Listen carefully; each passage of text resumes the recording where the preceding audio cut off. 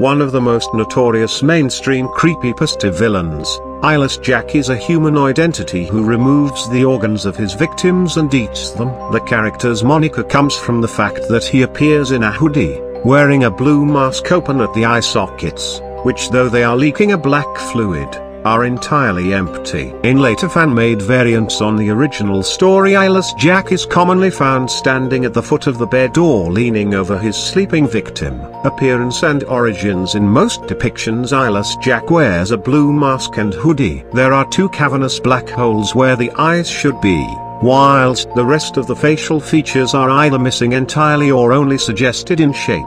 The image most commonly associated with the character is a photograph taken from below as if looking up at a blank-faced figure with only two gaping holes where his eyes should be. This photograph, which predates production of the actual story of Eyeless Jack, was created on November 19, 2009 by two DeviantArt users Nick TZ408 and Pirate Cashew. The image was then posted by a user calling himself Arnon on the 4chan amongst a collection of creepy images and creatures taken from video games that he claimed to have found on 4chan's slash the slash. The collection was labeled as a nightmare fuel and significantly featured the DeviantArt image of the as yet nameless character. The image was posted on June 7, 2010 and would not be attached to a story until February 2012. Like many creepypasta characters there was an ekphrastic element to Eyeless Jack's creation, meaning that the actual story of Eyeless Jack came after or was inspired by the image. That story was eventually posted to Creepypasta by a user named DazeL5000 on February 25, 2012 and was presented as a first-person account of an encounter with Eyeless Jack